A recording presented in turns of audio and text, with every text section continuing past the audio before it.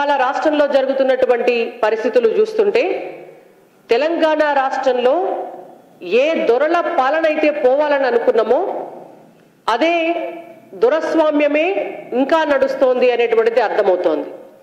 ఏ అప్రజాస్వామిక వాతావరణం పోవాలే పరిపాలన పోవాలే అని అనుకున్నామో అదే అప్రజాస్వామిక వాతావరణం కొనసాగుతున్నట్టుగా కనిపిస్తోంది.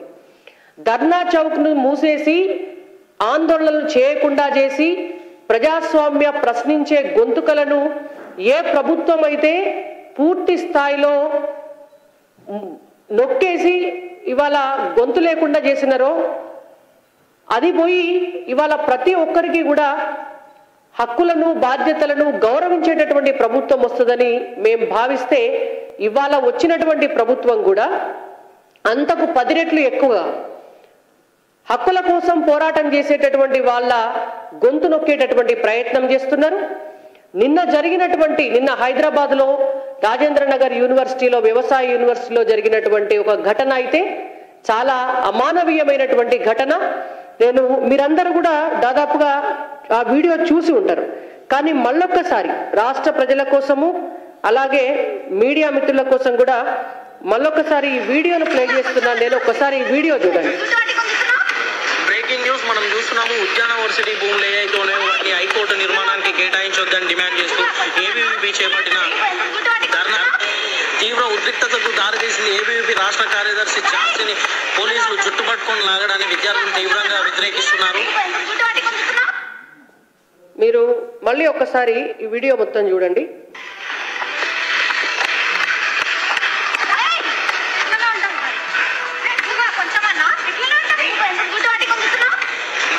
రోజు మనం చూస్తున్నాము ఉద్యాన వర్సిటీ భూములు ఏవైతే ఉన్నాయో వాటిని హైకోర్టు నిర్మాణానికి కేటాయించొద్దని డిమాండ్ చేస్తూ ఏబీవీపీ చేపట్టిన ధర్నా తీవ్ర ఉద్రిక్తతకు దారితీసింది ఏబీవీపీ రాష్ట్ర కార్యదర్శి ఛాన్సీని పోలీసులు చుట్టుపట్టుకొని లాగడాన్ని విద్యార్థులు తీవ్రంగా వ్యతిరేకిస్తున్నారు. ఇట్లా పోలీస్ కానిస్టేబుల్ ఒక అమ్మాయి ఒక విద్యార్థి పరిషత్కి సంబంధించినటువంటి నాయకురాలు తను దేనికోసం పోరాటం చేస్తోంది దేనికోసం ఆందోళన చేస్తోంది?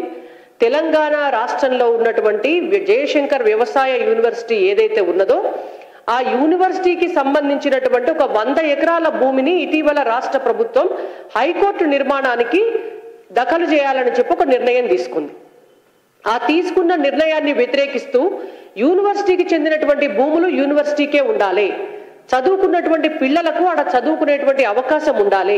ఒకసారి వంద ఎకరాల భూమి చేయి దాటిపోయిన తర్వాత యూనివర్సిటీకి సంబంధించినటువంటి భూమి మళ్ళా తిరిగి రాదని కదా ఆ భూమిని యూనివర్సిటీకే ఉంచాలి అని చెప్పి ఏబీవీపీ విద్యార్థి పరిషత్ ఆధ్వర్యంలో దాదాపుగా కొన్ని రోజుల నుంచి కూడా అక్కడ ఆందోళన చేస్తున్నారు.